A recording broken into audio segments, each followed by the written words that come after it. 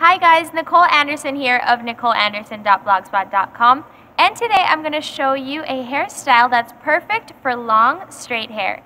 It's actually called the French Twist Half Up hairstyle and it's perfect for when you need to go to formal events. But to pull this look off you're going to need to have long hair that's both soft and smooth so frizz really has no place here.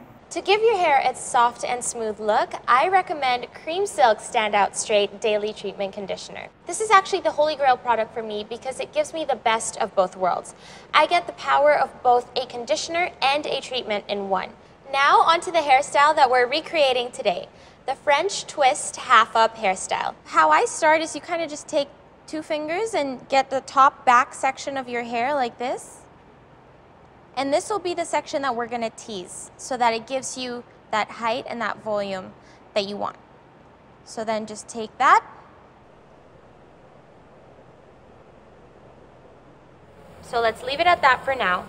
So then we're gonna divide our hair into two more sections and I do it just using my fingers, go above your ears, like so, and then just kind of run them through your scalp as until they meet in the back. Hello. Okay, so I'm gonna leave the right side for now and I'm gonna work on the left section. So get that section and then just start twisting your hair inward towards the center of your head, not outward this way. So like that. So once you've got it twisted, it should look like that. And then get your bobby pins and then just start holding that section into place.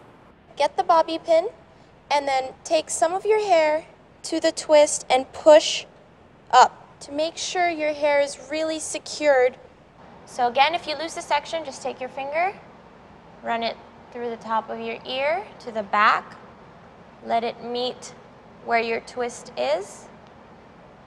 So again, just take that section and start twisting towards the left side.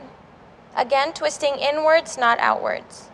So once you've got it twisted, go back and get your bobby pins and then just start pinning it into place.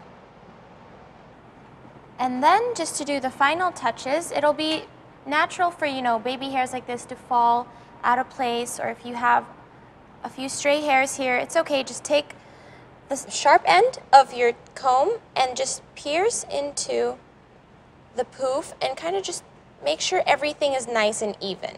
And then for the stray hairs that you have going on on each side, get a little bit of hairspray and spray it onto your comb about six to eight inches away on both sides.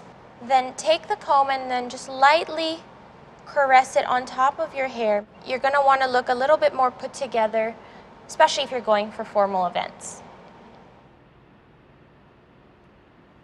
And there you guys have it. What do you think of my look?